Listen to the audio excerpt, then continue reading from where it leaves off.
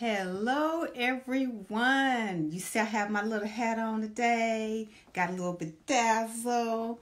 Guess what? It's recognition day. You know, I felt good when I woke up this morning because I thought about what I am really, really blessed to have in my life. I have so many people that are within social media that I have met, I've connected with on a personal level. Um, and I am just really, really blessed um, to have so much support. Um, I support so many people and I receive that support back. Hey, Ed, glad to have you. Um, and so it's kind of a, one of these days I'm kind of reflecting upon um, my circle, you know, my audience, my group of people that I connect with on a daily basis. Hi, Vivian. And um, I just want to thank you for showing up to come to view um, my lives, share them, re- read my com. I mean, read my different postings. Um, maybe even comment on them. Have a little dialogue with me. Like them. Reply. Um, PM me. I mean, I just want to recognize the people that I reach every day, the people that I connect with every day, because you don't have to stop by my page. You don't have to check out my lives. You choose to. And I want to tell you thank you because to me, you're special for doing that. Um, hi, Lindsay.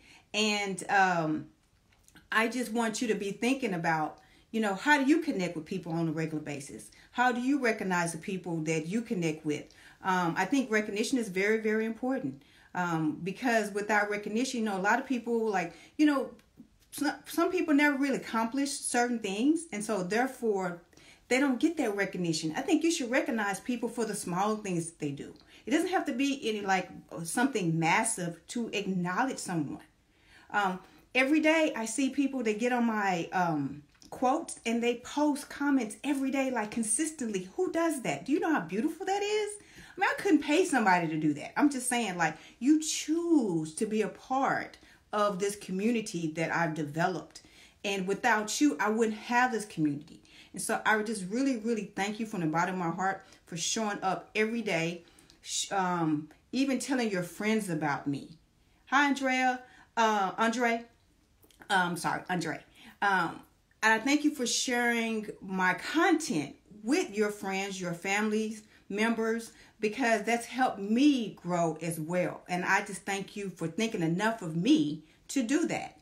And I have a special recognition that I wanted to share today um, because I did something different with my water challenge this time and my support group. And so I created, I don't know if you guys saw this earlier, but I created a special recognition for those people that were my top 10 um, contributors. Now, let me take a step back. I appreciate everybody in the water uh, support group, everybody that participated in the challenge, but I had some people that just participated more so than others. Some people did participate, they just didn't want to comment, and I'm okay with that. But I had some people that really wanted to be more visible, they were more outspoken.